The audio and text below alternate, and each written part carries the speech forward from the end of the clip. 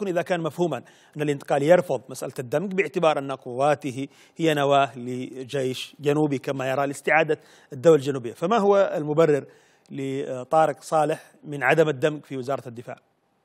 بالعكس وجوده في وزارة الدفاع يمكنه أيضا من قيادة هذه الوزارة الهامة. أنا بصراحة من خلال تواصلي مع الاخوه في اللجنة العسكرية لم أسمع عن أحد يقول أن طارق رفض بالعكس بيقول إنه أكثر أكثر التشكيل القتالي المتواجد في الساحل الغربي هو أكثر التشكيلات تجاوبا وتعاونا وتفاهما في إطار هذه اللجنة وفي ومتجاوب في كثير من القضايا وحل كثير من الأمور.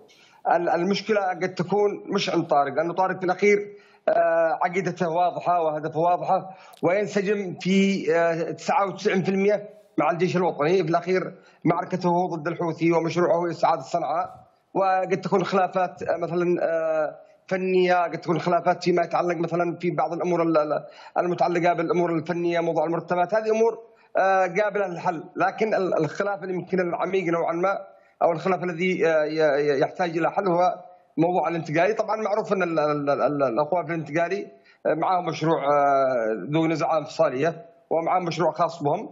وهذا معروف من البداية يعني منذ بداية تشكيل المجلس القيادي الرئاسي وهي هذه الفكرة واضحة. ما فيش حاجة جديد ولا في حاجة مخبية.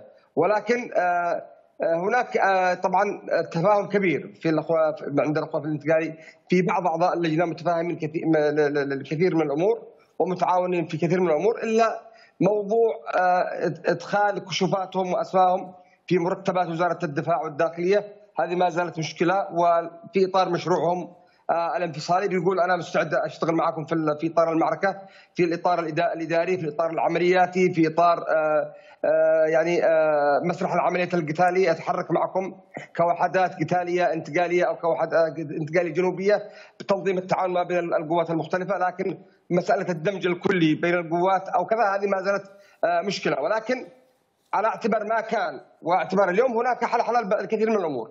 بقي معنا هذه النقطة. يفترض أنه كما قال اللواء محسن خسروف وأنا أتفق معه أن الموضوع أصبح أكبر من الاخوان في اللجنة العسكرية والأمنية لأن اللجنة العسكرية بذلت جهود جبارة بطريقة احترافية وبطريقة مهنية نعم. وبما اعتقد انها أنها لجنة فنية وأن القرار قرار في إطار مجلس القيادة الرئاسي أو حتى في إطار التفاهم بين السعودية والإمارات.